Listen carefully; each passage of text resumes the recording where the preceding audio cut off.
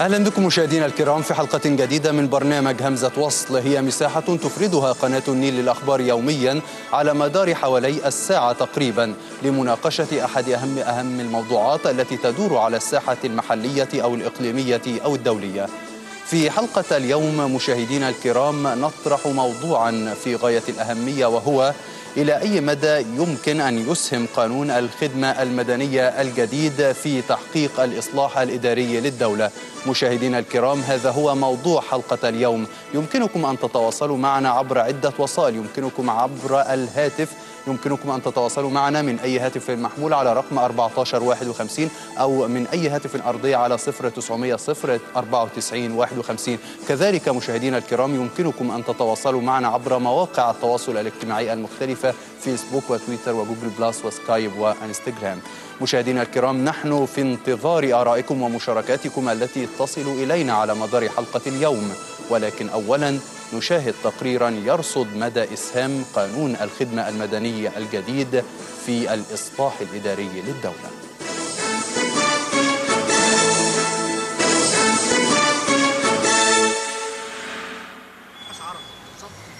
جديد للخدمة المدنية تعول عليه وزارة التخطيط والمتابعة لوضع حد لانتشار الفساد وتحقيق الإصلاح الإداري للدولة. القانون الذي صدر منتصف مارس الماضي من المفترض أن يساهم في القضاء على الوساطة في شغل الوظائف العامة وذلك من خلال وضع مادة تشترط تنظيم مسابقة مركزية وعلنية لاختبار المتقدمين للوظائف. كما حدد القانون نظاما جديدا للأجور يشمل الأجر الوظيفي وهو يمثل 75% من إجمالي الأجر إلى جانب الأجر المكمل.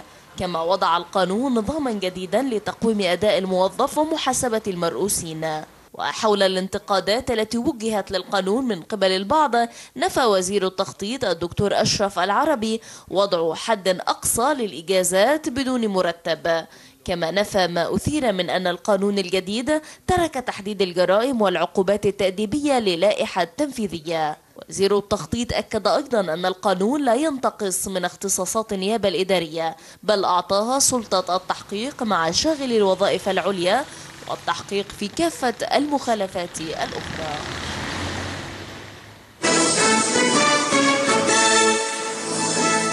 نبدأ مشاهدينا الكرام في استطلاع آرائكم التي وصلت إلينا عبر مواقع التواصل الاجتماعي وننتقل أولا إلى الزميلة آلاء حامد. أهلا بك آلاء وأهم ما جاء لديك من آراء مشاهدينا الكرام.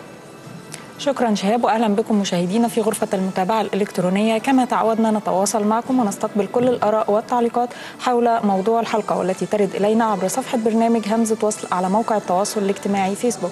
وحتى الآن وردت إلينا الكثير من الآراء عن قانون الخدمة المدنية وإلى أي مدى يمكن أن يسهم في تحقيق الإصلاح الإداري في الدولة. نتعرف معكم على تفاصيل هذه المشاركات وذلك باستعراض أول مجموعة منها الآن. وأول مشاركة معنا من من محمود أبو الليل وهو يقول يجب طرح القانون على الشعب قبل تفعيله حتى المواطن يعرف ما له وما عليه ويجب طرح أي قانون على الشعب قبل العمل به أو يتم تأجيل هذا القانون لحين مجلس النواب لأن الجهاز الإداري للدولة يجب هيكلته وخصوصا الإدارة المحلية يجب أن يكون بها قانون ينظم هذه الإدارة. ننتقل إلى تعليق من عثمان حجة يقول أين نص القانون حتى نقول رأينا فيه؟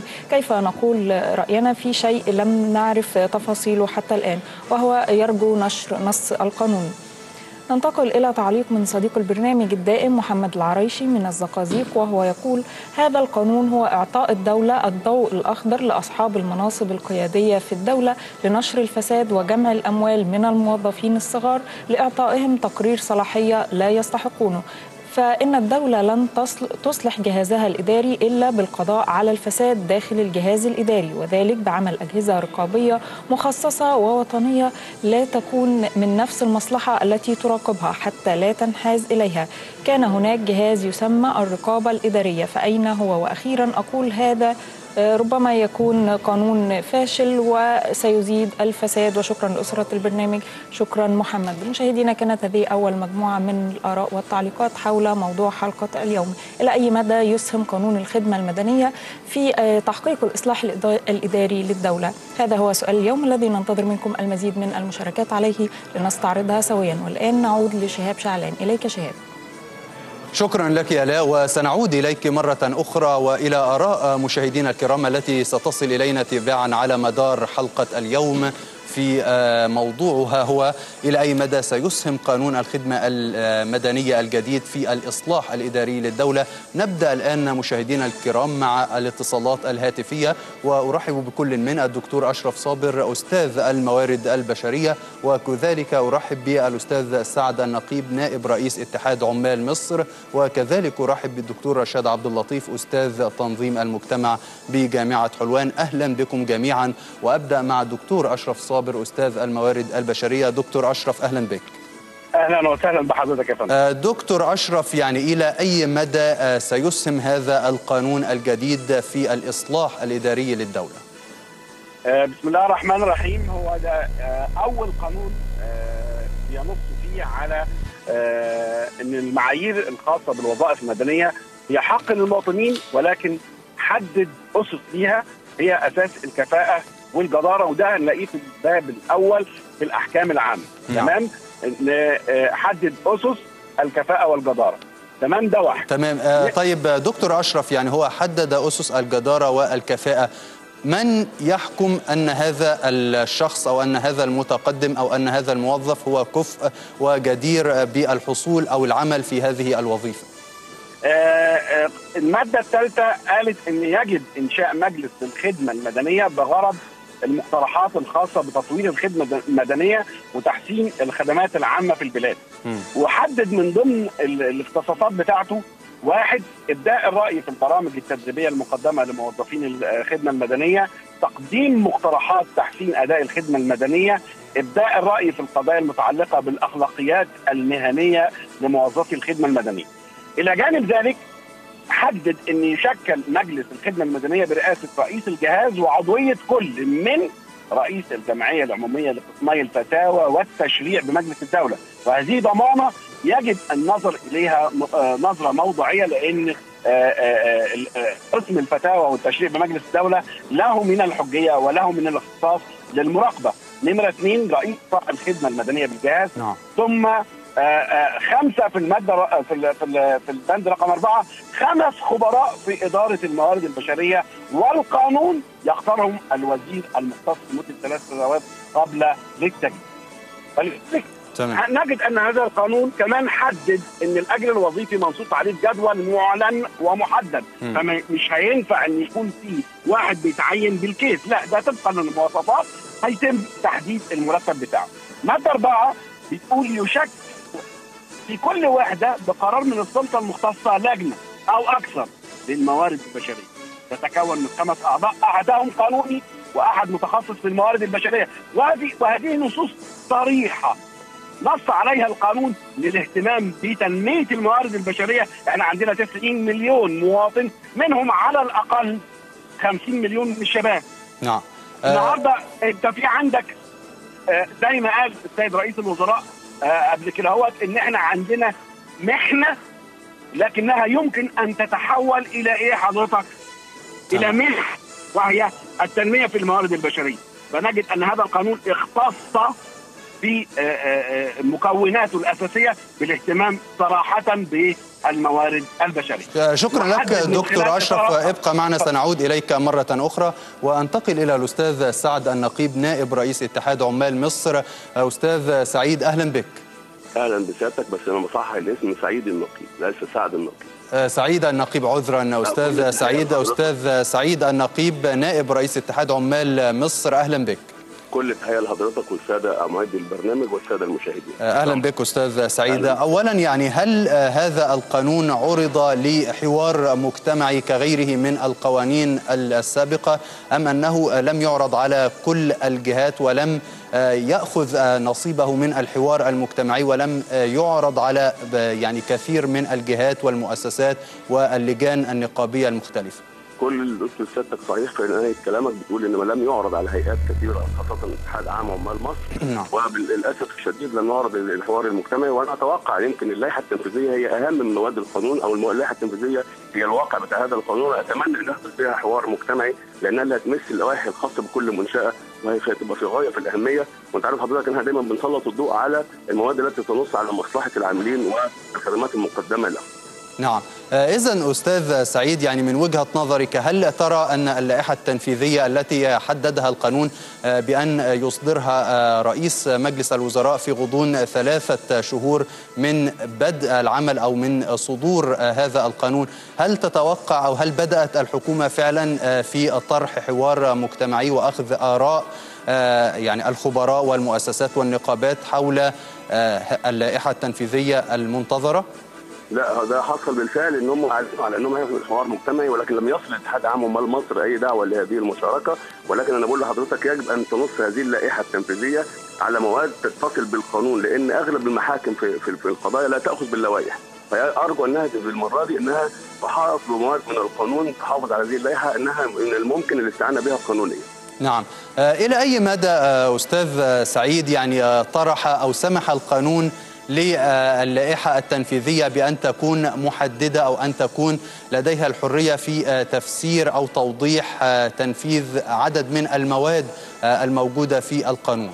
أغلب المواد بأمانة و- و- و- كأنها مواد دستور بتنص على إننا إننا مواد عامة قد أستقي منها ما يتناسب مع كل منشأة وكل هيئة من هيئات الخدمة الوطنيه في الدولة. وده دي ميزة في هذا القانون. القانون لغى القانون 47 اللي كان بالفعل مسيء جدا جدا لعمال مصر.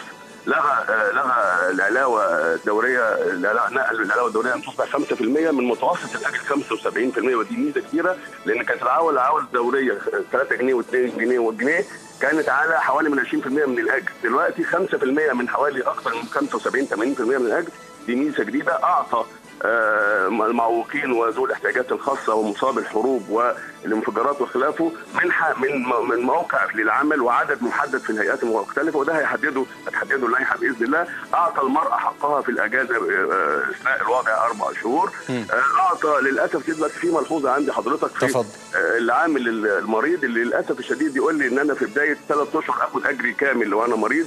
الثلاث أشهر التانيين آخد 75% من الأجر. آخد 50% من الأجر. فاتمنى إن هذه المادة تتغير لأن العامل المريض مصروفاته بتزيد. إزاي أنا هاخد نص الأجر أو 75% من الأجر وأنا مريض ملازم الفراغ خصوصا هو بياخد الأجازة بموجب يعني شهادة طبية من المجلس تمام تمام. ما هوش ما هوش لجأ للتحايل أو خلافه لازم المريض الحقيقي لازم أنا أعطيه أجره كامل. بالعكس ده هو في هذه الحالة بتساعده النقابة وبتساعده المحيطين والجمعية والصناديق الاجتماعية على انه يواجه هذا المرض بجلوسه في البيت أو قعاده في فراشه. نعم أستاذ سعيد يعني أخيرا أو آخر سؤال. هل آه، ترى من وجهة نظرك في ضوء ما جاء في القانون أن هذا القانون سيقضي على الوساطة والمحسوبية عند التعيين في الوظائف سواء في بداية التعيين أو حتى في شغل الوظائف الإدارية العليا؟ أنا اؤكد لسيادتك كما قال زميلي اللي اتكلم من قبل إنه بالفعل يقضي على الفساد بالفعل بيحدد حدود دنيا وقصوى حتى اللي الخبراء اللي نستعين بهم يقعدوا ثلاث سنين فقط لا غير إن ال- ال- الاختيار الإدارة العليا حتى لو ثبت عدم كفاءته لمده تقريرين متوسط بيفصل من عمله أو يستبعد من الإدارة العليا حتى نعم. يمكن أعطى عامل فرصة إنه لو خد تقريرين آه، سنويتين آه، آه، ضعيف ينقل لوظيفة أخرى طيب يعني آه، أستاذ سعيد يعني البعض أخذ على هذا القانون بأنه آه، يعني لم يترك آه، السلطة مطلقة للمحكمة المختصة بأن آه، هي التي يكون لها القول الفصل والرأي النهائي والوحيد في فصل العامل من وجهة نظرك هل ترى أن هذا القانون هو يعني وسع السلطات إمكانية فصل موظفين من دون الرجوع إلى المحكمة؟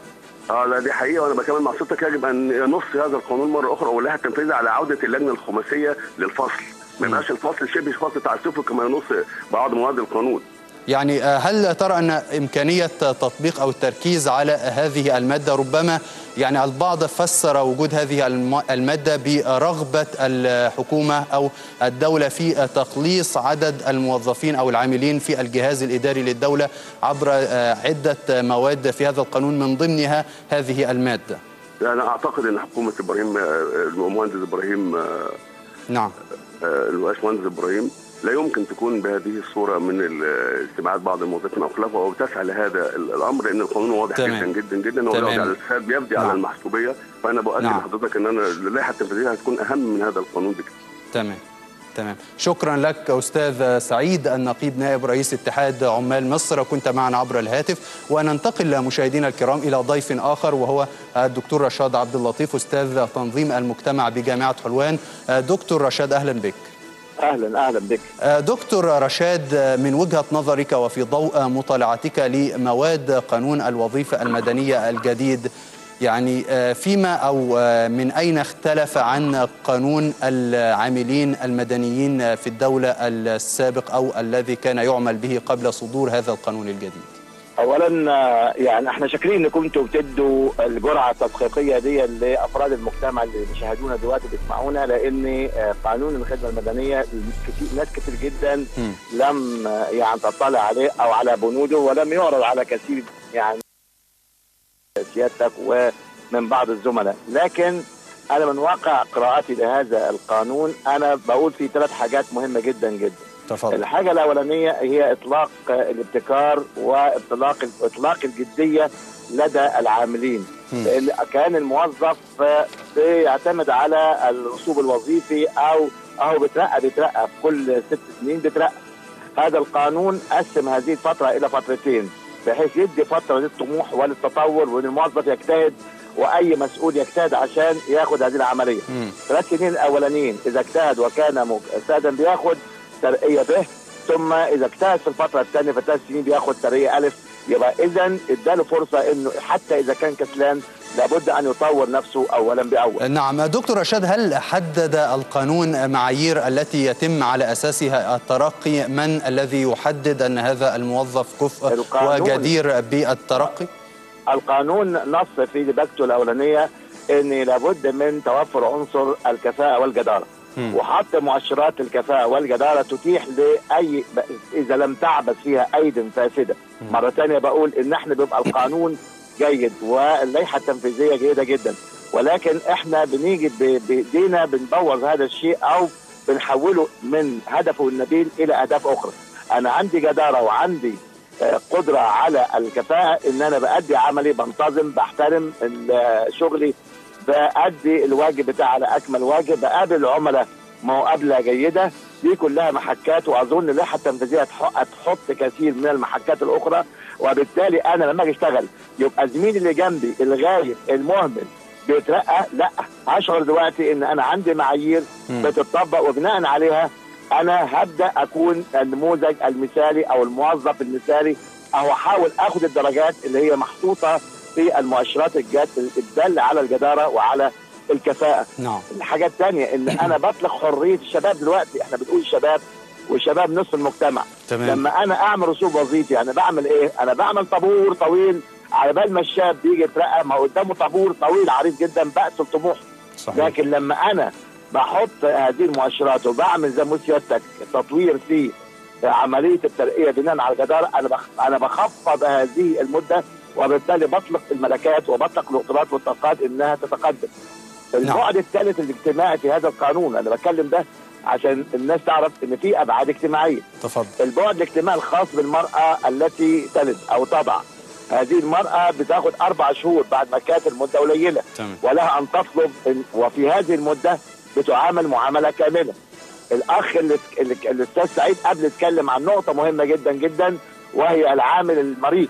مم. وأنا بقول إن دي عايزة نظرة وأنا أظن إن القانون دلوقتي كنا كنتم سيادتكم بتناقشوه وإحنا بنتكلم فيه إن محتاجين إلى إعادة صياغة لبعض البنود زي العامل المريض ذنبه إيه؟ أنا مريض دلوقتي صحيح. وبالتالي لابد ان أن أعالج كل دول نعم. العالم على فكرة لو اطلعنا نعم. عليها نجد إن العامل المريض بتكفل له الأجازة والأجر الكامل طالما غير متمارض وغير مقصر في أداء عمله وبالتالي ليه نعم. إحنا نتدخل في هذه الأمور وأنا بقول هذا الكلام ليه؟ عشان خاطر المريض لابد أن يحترم والمعاق لابد أن نعم. شكرا لك دكتور. رشاد عبد اللطيف أستاذ تنظيم المجتمع بجامعة الحلوان كنت معنا عبر الهاتف. آه، وأشكر آه، ضيفنا الكريم الدكتور أشرف صبر أستاذ الموارد البشرية كان معنا عبر الهاتف. وكذلك الأستاذ سعيد النقيب نائب رئيس اتحاد عمال مصر. آه، شكرا لكم جميعا. مشاهدينا الكرام فاصل قصير ثم نعود لاستكمال حلقة اليوم من همزة وصل.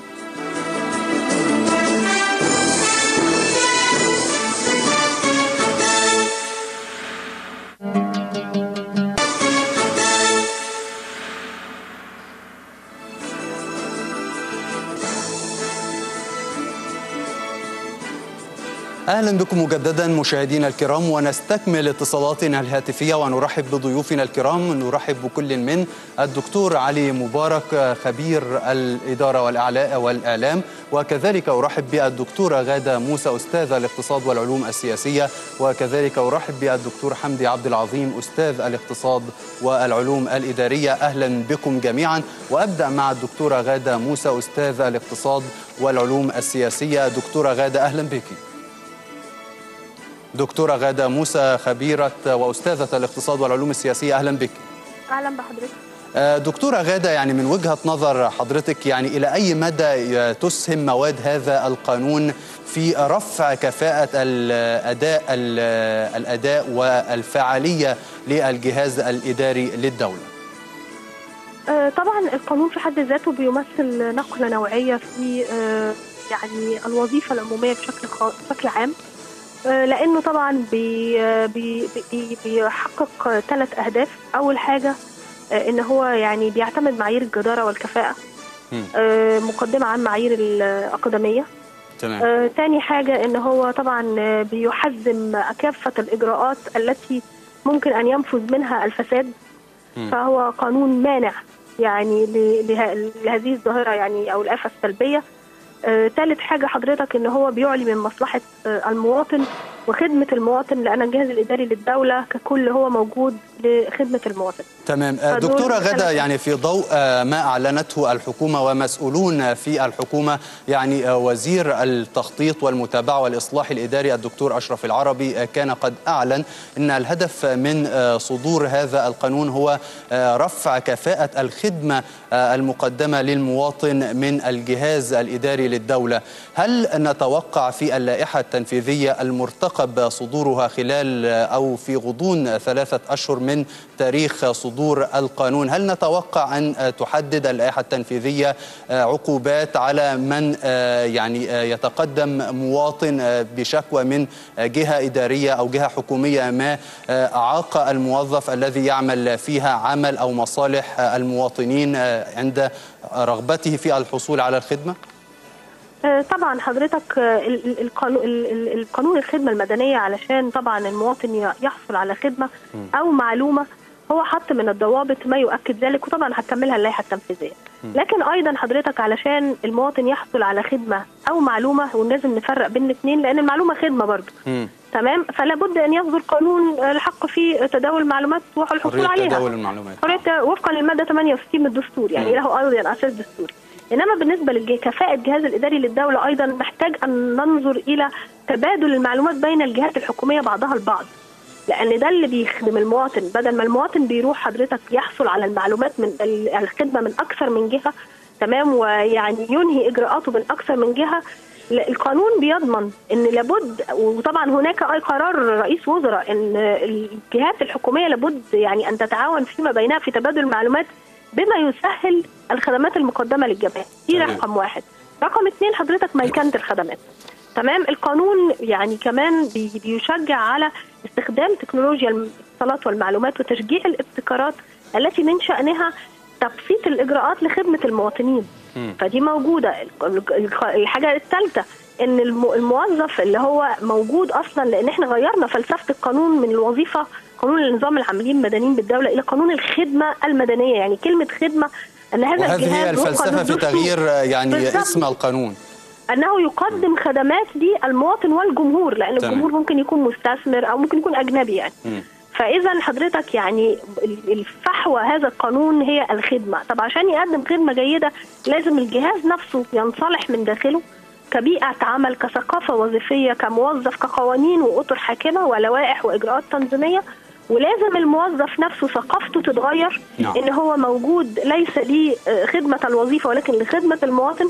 ولابد أن يتفهم المواطن من من الجانب الآخر دور هذا الجهاز وما له من حقوق وما عليه من واجبات. شكرا لك دكتورة غادة موسى أستاذ الاقتصاد والعلوم السياسية. كنت معنا عبر الهاتف وننتقل مشاهدينا الكرام إلى ضيف آخر وهو الدكتور علي مبارك خبير الإدارة والإعلام. دكتور علي أهلا بك. أهلا بحضرتك يا فندم. آه، دكتور علي يعني إلى أي مدى آه، يسهم هذا القانون الجديد قانون الخدمة المدنية في الإصلاح الإداري آه، للجهاز الإداري للدولة ورفع كفاءة هذا الجهاز الإداري؟ شوف حضرتك هو إصدار هذا القانون بيعكس رغبة حقيقية لدى الدولة في الإصلاح الإداري نعم. بعد ثورة الثلاثين من يونيو. وعلشان نعرف الكلام ده لازم نرجع شوية لعلم إدارة المؤسسات وإدارة الدول والحقيقة الدولة بمفهوم المؤسسة الكبيرة هي بتعمل إيه الدولة؟ بتنتج خدمات أو سلع وتحاول إن هي تحقق دخل معين وترفع ميزانيتها والدخل العائد للدولة. في علم إدارة المؤسسات حضرتك علشان تخلي مؤسسة تنتج خدمات كويسة وسلع وإنتاج كويس وتجيب ربح كويس ويؤدي ذلك إلى استمرار بقاء المؤسسة أو الدولة ومنافستها في السوق وتحقق آه، رضا ال- المستخدمين. لازم تشوف المدخلات أو المقومات اللي بتقوم عليها المؤسسة أو الدولة فتحسنها. تمام. أبرز هذه المدخلات إيه؟ المدخلات التشريعية والمدخلات التنظيمية والمدخلات البشرية والمدخلات المالية والمدخلات المادية. خد بالك المادية غير المالية دي المقصود بها الاسف والمدخلات ال- آه، الإدارية والهندسية وإلى ما غير ذلك من مدخلات ثم تعمل عليها عمليات من خلال الإدارة رشيدة تطلع لك السلع والخدمات بشكل جيد. القانون بتاع الخدمة المدنية ده عامل إيه؟ آه، هو خطوة جيدة جدا تجاه إصلاح ثلاثة من أبرز المدخلات اللي محتاجاها الدولة. المدخلات التشريعية أو ده قانون أو اتعمل قانون الخدمة المدنية تمام. علشان يقدم خدمة زي ما قال الوزير أشرف العربي جيدة للمواطن صلحنا القانون وتعامل مع أيضا إيه هو القانون ده قانون خدمة مدنية للعاملين بيحسن لك كمان الموارد البشرية. كمان القانون ده بيشتغل على على مدخل مهم جدا أو مقوم مهم جدا وخد بالك المقوم ما يقوم عليه الشيء القيادات الإدارية. تمام. نص القانون الجديد على حسن آه، اختيار القيادات ال- الجديدة وعلى بناء صف ثاني من القيادات. القانون الجديد أيضا ليه مجموعة من الملاحظات الطيبة عليه أنا بس عايز أقول إنه القانون في عمومه هو نتاج عمل بشري نعم. علشان بعض الناس اللي بتبقى تقول كلام ده القانون فيه عيب يسيب كل امتيازاته ويمسك على عيب صغير مم. ما هو البشر لازم يطلع عندهم عيوب مش صحيح. ممكن أي عمل بشري هيطلع فيه عيب أو نقص إنما أنت لما تيجي تقيم حضرتك في المجمل. تنظر إلى مجمل الامتيازات والعيوب. هتلاقي مجمل الامتيازات أفضل والعيوب قليلة لأن مفيش عمل بشري خالي من عيوب. صحيح. من ضمن المزايا بتاع هذا القانون حضرتك إنه خلى شغل الوظائف العامة بمسابقة مركزية. مم. بيعلنها وينفذها الجهاز المركزي للتنظيم والإدارة وبيشرف عليها الوزير المختص. والحقيقة ده حل لنا مشكلة كبيرة جدا بنعاني منها منذ سنوات طويلة وهي مسألة الواسطة في التعيين في الوظائف. ما عادش هيبقى فيه الكلام خالص. أيضا وضع نظام جديد للأجور حضرتك اللي خلى الاجر الأساسي 75% والاجر المتغير 25% ناس كانت بتشتكي إن هرم الاجر مقلوب. دلوقتي صلحنا هرم ال- الاجر تماما كده القانون ده صلحه وضبطه تماما. أيضا عمل مدونة سلوك لكل جهة من الجهات ليتعين على العاملين الالتزام بأحكامها ووضع نظام جديد لتقويم أداء الموظف. كمان قوى سلطات ال- ال- القيادات الإدارية في مقاومة الانحراف ومحاسبة ال- الفساد. أنا عايز أقول إن القانون فيه مجموعة أنا بدعو الناس تقراه الأول قبل ما يحكموا عليه في مجموعة من الامتيازات. أنا بس كنت حابب القانون لو في أي تعديل أو في اللائحه التنفيذية. في الموظفة تستحق إجازة وضع لمدة أربعة أشهر لحد أقصى ثلاث آه، ثلاث مرات طول مدة عملها بالخدمة المدنية. كنت أحب بصفة أمين عام جمعية صوت المعارض ذهنيا إن الموظف إنه تستحق الموظفة الأم التي لديها ابن معاق آه، أجازات مفتوحة. لأنه الحقيقة دي فئة القانون والدستور آه، آه، أعطاها حقها. النهارده النهارده ال- ال- ال- السيدة العاملة اللي لديها ابن معاق أو بنت معاقة أحيانا تحتاج إلى أجازات طويلة ولابد القانون يسمح بذلك. لأنه بيبقى ظروف المعاق ظروف صعبة جدا وتحتاج الأم الموظفة إلى تيسيرات هل من وجهة نظرك دكتور يمكن أن تتداركها اللائحة التنفيذية عند صدورها؟ أتصور ممكن اللائحة التنفيذية تتدارك هذا. وأيضا. إنه ال- الأم اللي عندها طفل آه، طبقا للقانون بتاخد ساعة مبكرة رضاعة أتصور الأم اللي عندها ابن معاق تحتاج هذه الساعة المبكرة سواء الصبح أو آخر النهار لأنه المعاق آه، الرئيس عبد الفتاح السيسي شخصيا مهتم جدا بهذه الفئة صحيح. نعم. وهذه الفئة. ضعيفة نعم. وأيضا الدولة اهتمت بها في الدستور وعلينا أن نهتم بها أيضا في قانون الخدمة المدنية وده الحالات الإنسانية اللي زي دي صدقني هي اللي بتخلي العامل آه، المدني أو العامل ال- الآخر بيخلص في العمل ويؤدي عمله تمام لأنه زي ما حضرتك بتراعي الجوانب الإنسانية بتاعتي أنا براعي جوانب العمل وبأخلص العمل كل الإخلاص. نعم. آه، شكرا لك الدكتور علي مبارك خبير الإدارة والإعلام. كنت معنا ضيفا كريما عبر الهاتف. وننتقل مشاهدينا الكرام إلى ضيف آخر وهو الدكتور حمدي عبد العظيم أستاذ الاقتصاد والعلوم الإدارية. دكتور حمدي أهلا بك. أهلا وسهلا بحضرتك. آه، دكتور حمدي يعني آه، كان آه، القيادات العليا أو القيادات الإدارية العليا تشكو في السابق من أن القانون قانون العاملين المدنيين في الدولة يغل يدها في اتخاذ إجراءات عقابية تجاه أو ضد الموظف الذي يعمل تحت رئاستها إذا كان متسيبا أو غير ملتزم بالواجبات الوظيفية الملقاة على عاتقه.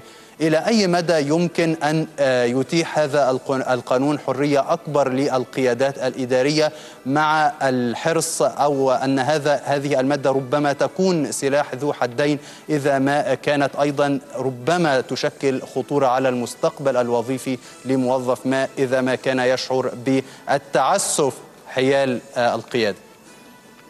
آه والله طبعا هو القيادات آه، مفترض فيها المسؤولية والحيده والنزاهة وأهم شيء حسن اختيار القيادات نفسها. نعم. آه، سمعتها ونزاهتها وكفاءتها أيضا مهمة في آه، هذه الحالة وبيتم تعيينهم بناء على قانون خمسه لسنة 91 وما زال ساريا حتى الآن حتى مع القانون الجديد. وبيبقى في لجنة للاختيار وبيبين قدرته على التطوير وبيعمل بحث أو مشروع لتطوير الجهة اللي يتعمد اللي يتعين عليها إلى آخره. فالموظف في هذه الحالة جزء من تقييمه هو حسن اختيار المعاونين أو العاملين وتدريبهم وتأهيلهم بحيث إن هم يتحملوا المسؤولية في المستقبل ومنهم يبقى في صف ثاني وصف ثالث إلى آخره. نعم فالموظف إذا ارتكب خطأ وفي هذه الحالة يمكن له أن يتظلم. والتظلم بيبقى في لجنة فيها عضو من قانوني وفيها عضو شؤون عاملين وجهاز التنظيم والإدارة وبالتالي يعني وجهه العمل ويعني مش متروكة للرئيس المباشر فقط في هذه الحالة. إنما القانون قال الموظف المباشر ياخد ثلاث أيام جزء شفوي لحد أقصى ثلاث أيام لو كان الرئيس وجد أنه مقصر في شيء ولفت نظره ولابد أن يثبت ذلك في قرار الجزاء. نعم ما عدا ذلك لابد أن يقوم بتحقيق من الشؤون القانونية نعم قبل وضع الجزاء في هذه الحالة.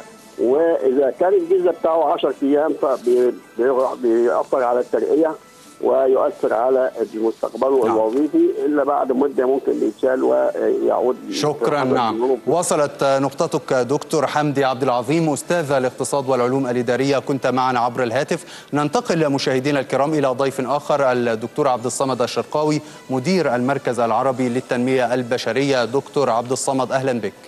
أهلا بيك والمستمعين وخصوصا الدكتور حمدي عبد العظيم. نعم. الشفاوي أهلا بك دكتور. دكتور إلى أي مدى من وجهة نظرك يساهم هذا القانون الجديد في رفع كفاءة العاملين بالجهاز الإداري للدولة؟ آه، الحقيقة ال- في ثلاث عوامل أساسية في في القانون للتنميه الإدارية في جهاز الدولة وهي اولا أساليب الترقية لا تقتصر على الأقدمية مثل زمان لكنها بتاخد عدة عوامل معاها الإبداع والابتكار والمهارة والقدرة على الإنجاز آه، في بساطة العمل بسرعة العمل بدقة العمل بحسن المعاملة. ده كله داخل في تحت الجدية والاستمرارية في العمل. ده نمرة واحد. نمرة اثنين ان إن اتقلب رأس الهرم في المعاشات من 20% إلى 80% ودوت هيخلي يحسن مستوى المعاش للعاملين بعد نهاية خدمتهم. فلا بد أن يكون لديهم حافز شديد جدا على إن هم يشتغلوا بجدية ونشاط. نمرة ثلاثة إن ال- القانون متعدد الأهداف فتح باب الترقية من ثلاث مستويات إلى خمس مستويات وفي نفس الوقت زيادة الدخل في العلاوة السنوية بدون المستوى الوظيفي اللي هو فيه. كل هذه العوامل أدت إلى إن يبقى في حوافز دائمة ومستمرة لموظف في الدولة إن هو يحس بادميته وده كله داخل في تنفيذ مبدأ العدالة الاجتماعية حسب الدستور المعدل سنة 2014 شكرا لك دكتور عبد الصمد الشرقاوي مدير المركز العربي للتنمية البشرية. كنت معنا عبر الهاتف. والآن مشاهدينا الكرام نعود مرة أخرى إلى الزميلة آلاء حامد لاستعراض آخر ما وصل من مشاركاتكم عبر مواقع التواصل الاجتماعي. إليك آلاء. أهلا بكم من جديد مشاهدينا. بالفعل شهاب ما زالت ترد إلينا حتى الآن العديد من الآراء والتعليقات حول موضوع الحلقة. نحاول معكم سريعا الآن أن نتعرف على مجموعة أخيرة من هذه الآراء من خلال استعراض بعض المشاركات التي وردت إلينا. وأول مشاركة معنا من محمود بكر وهو يقول كيف لي أن أقول رأيي في هذا القانون وأنا ما زلت لا أعلم عنه الكثير؟ اذا فهو يطالب بالمزيد من التوضيح حول هذا القانون. تعليق أيضا من هلال المريجي وهو يطالب أيضا بالمزيد من التوضيح حول قانون الخدمة المدنية. ننتقل إلى تعليق من أدهم صبري وهو يرى أن هذا القانون يساعد على الرشوة والمحسوبية وعلى الكسل من جانب الموظف فيقول على هذا القانون سوف يؤدي إلى كثره الرشوة والمحسوبية لعدم الترقي إلا بعد تقرير المدير ومن هنا سوف تبدأ سوف يبدأ التودد إلى المدير وربما يصل الأمر إلى رشوة وذلك للحصول على تقرير يؤدي إلى ترقيه ومن جانب الموظف. أيضا ربما يؤدي هذا القانون إلى الكسل وعدم الاحتفاظ بالأجازات لمدة ثلاث ثلاث سنوات. هذا سوف يساعد على الغياب ولماذا أذهب وأنا لدي رصيد سوف يضيع علي؟ وحتى لو هناك احتياج في العمل فكيف لا أخذ أجازات؟ وهذا الأمر ربما يعود أيضا إلى إرادة من يدير المكان وهو يطالب بأن نحصل على تعليم أعلى ونحارب الأمية ورفع معدل التعليم في الحكومة ومن ثم تحسين المنظومة الإدارية ككل. ننتقل إلى تعليق من صديق البرنامج بدوي عبد الموجود وهو يقول إلى مدى بعيد سيسهم هذا القانون في تحقيق وإعادة بناء مراكز الشرطة على سبيل المثال على أعلى مستوى وتقوية المجالس له أهمية جيدة وتشغيل العمالة وهي الخدمة المدنية لحقوق العمل في المصنع أو في كل المجالات. والحفاظ كثيرة من خلال هذا القانون. ننتقل إلى تعليق من صديق البرنامج محمد الطواب وهو يرى أن هذا القانون ربما يزيد الواسطة والمحسوبية ويضع الشخص المناسب في المكان غير المناسب ويطالب بالقضاء على الفساد الإداري وتنفيذ القانون بشكل الصالح العام. مشاهدينا كانت هذه آخر مجموعة من الآراء والتعليقات حول موضوع حلقة اليوم. نشكر كل من شاركنا بالرأي وبالطبع كانت هذه عينة عشوائية لا تعبر عن رأي برنامج همزة وصل أو رأي العاملين بقناة النيل الأخبار. وفي الختام نعود لشهاب شعلان. إليك شهاب. شكرا لك يا آلاء حامد وشكرا لكل مشاهدينا الكرام الذين تواصلوا معنا عبر مواقع التواصل الاجتماعي المختلفة على مدار حلقة اليوم. إلى هنا مشاهدينا الكرام نكون قد وصلنا إلى ختام حلقة اليوم من برنامج همزة وصل والذي كان موضوعها إلى أي مدى يسهم قانون الخدمة المدنية الجديد في الإصلاح الإداري للدولة. مشاهدينا الكرام في الغد موضوع جديد وهو ما رأيك في قرار وزارة الآثار برفع أسعار تذاكر بعض المناطق الأثرية على المصريين؟ مشاهدينا الكرام هذا هو موضوع حلقة الغد إن شاء الله. في انتظار مشاركاتكم وآرائكم عبر مواقع التواصل الاجتماعي المختلفة عبر مدار حلقة الغد إن شاء الله. إلى ذلك الحين تقبلوا تحياتنا وإلى اللقاء.